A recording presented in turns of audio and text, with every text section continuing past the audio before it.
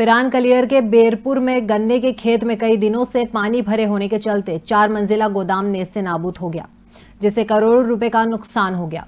मौके पर पहुँचे पटवारी और तहसीलदार ने घटना स्थल का मुआयना किया। गन्ने के खेत में पानी भरा होने के कारण उसके पास बना चार मंजिला गोदाम भर भरा कर जमीदोज हो गया। गोदाम गिरने से उसके मालिक मोहम्मद इंतज़ार अली हताश हो गए। गोदाम मालिक ने कहा कि जैसे ही मैं यहाँ पर आया तो मैंने देखा गोदाम मलबे में तब्दील हो गया और इस वजह से हमारा करोड़ों का नुकसान हो गया। इसके लिए जिम्मेदार शासन प्रशासन भी है, क्योंकि बार बार बोलने के बाद भी उन्होंने पानी की निकासी नहीं करवाई।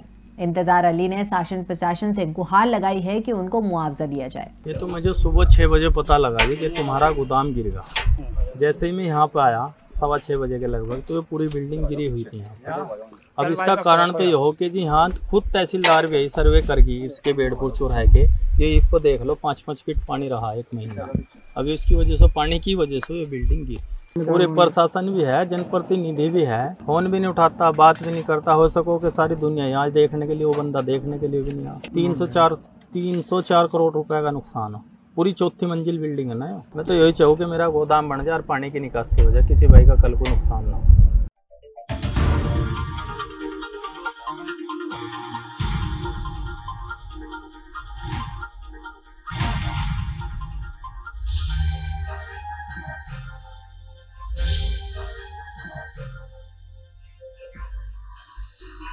आप देख रहे हैं दखल न्यूज़।